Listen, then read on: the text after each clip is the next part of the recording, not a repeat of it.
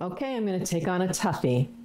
Is trauma really stored in your body, in a muscle, in the psoas?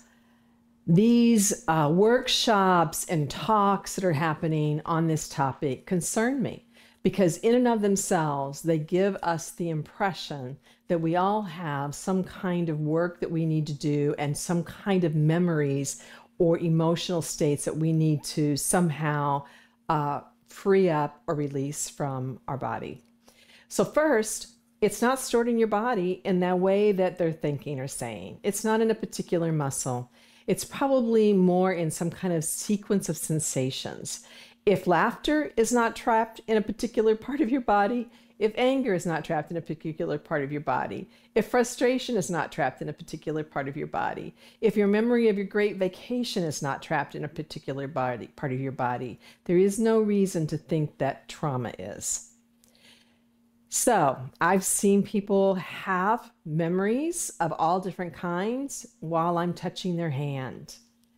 I've seen people have it when they do a particular kind of movement but they do the movement the next time and it's still not there. It doesn't it doesn't reoccur. It's just way too simple to say that it's trapped in a particular area. And then it gets us focused on something specific that I don't really think is the pathway to healing, at least not a safe pathway to healing.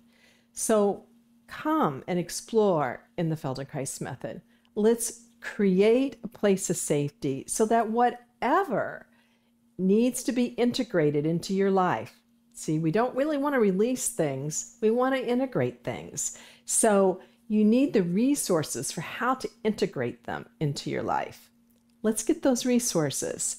And then whatever comes up, it will come up in a safer environment where you're able to be ready to deal with it and not performing or under pressure or trying to dig it out because nobody wants to be treated that way.